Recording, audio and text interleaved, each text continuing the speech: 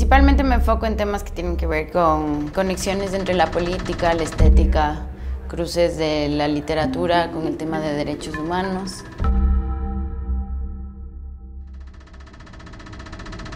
Desde hace un año estoy trabajando en este proyecto de Buscamos en el Silencio de las Cosas, que es esta obra de teatro de objetos documentales.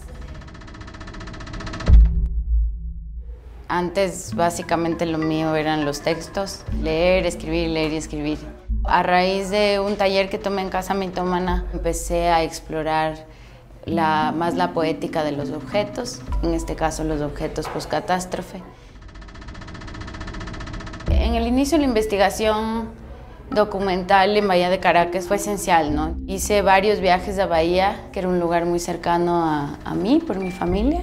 Lo que estaba haciendo era investigar este escenario post-catástrofe, ver en los lotes que habían dejado las demoliciones, en la escombrera de la ciudad, en diferentes sitios, un poco los rastros que quedaban de lo que había estado ahí en estos espacios.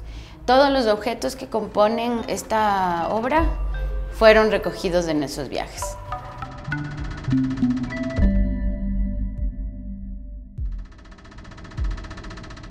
Entramos en una etapa de tratar de construir también un poco la memoria del proyecto como tal, entonces hicimos unas fotos de cada uno de los objetos con la intención de construir un objetario como una especie de catálogo de todas las componentes de esta obra. La idea era que el objeto estuviese iluminado para dejarte ver los detalles, pero sobre un negro infinito, como casi sentir que está flotando esa materialidad residual en ese fondo abismal. Ningún pasado es muy concreto y muy preciso.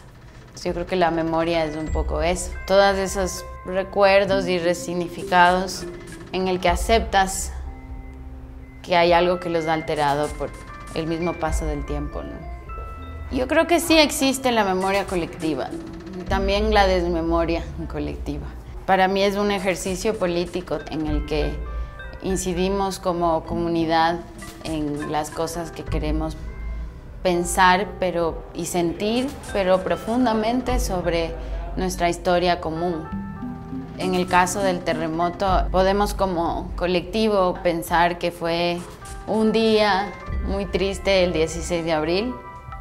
No podemos pensarlo como un evento que también nos transforma como comunidad y nos sigue transformando.